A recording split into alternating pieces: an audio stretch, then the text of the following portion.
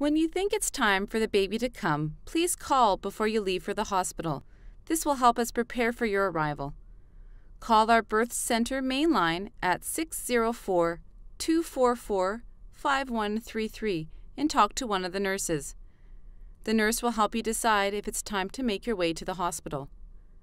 When to leave for the hospital depends on your personal situation, such as when your baby is due, if this is your first labor, or if there is bleeding or leaking of fluid. Don't forget to make sure that those who are in need of your supervision are looked after.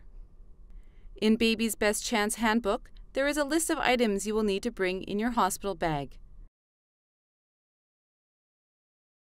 Please bring to the hospital an additional 10 menstrual pads, 10 newborn diapers, and additional baby wipes. It is also a good idea to bring in extra pillows. Partners, support persons will have to bring in their own pillow and linen for sleeping.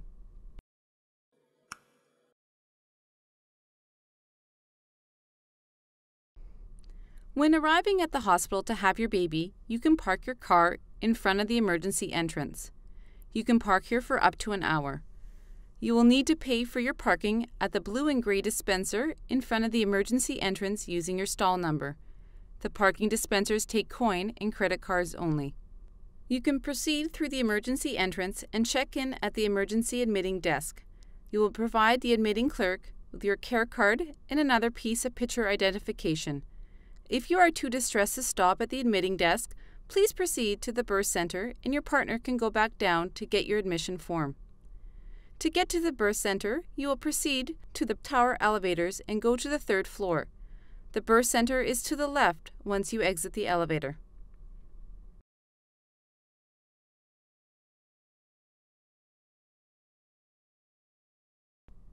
Upon arriving at the birth center, either a nurse or unit clerk will welcome you.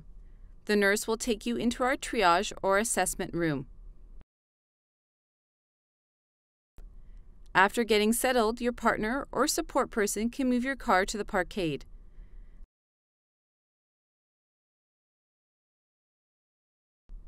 Meanwhile, back at the birth center in triage, the nurse will collect a urine sample, take your blood pressure and temperature, and check the baby's heart rate.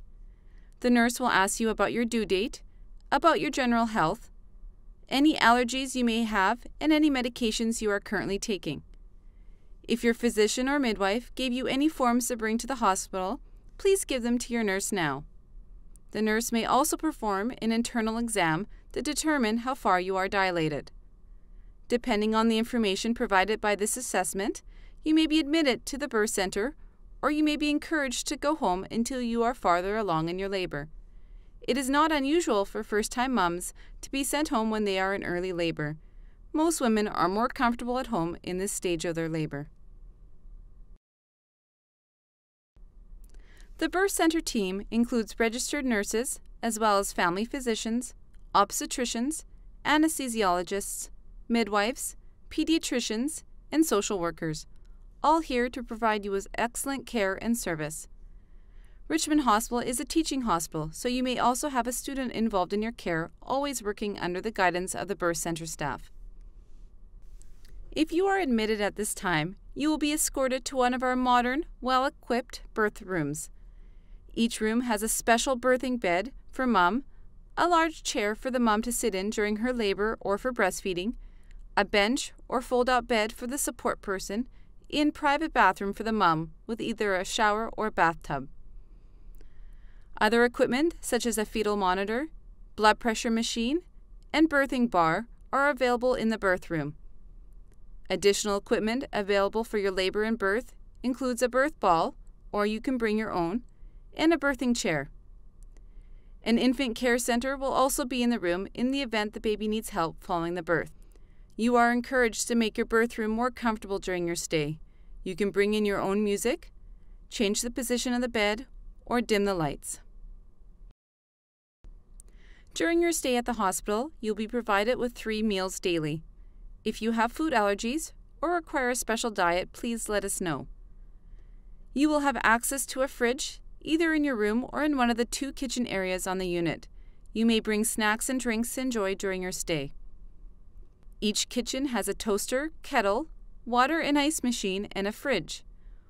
For the mom, there is a small selection of juices, milk, and snacks provided to enjoy. Support people will need to bring in their own food or can use the cafeteria located on the second floor. There's also a coffee shop located on the main floor in the lobby.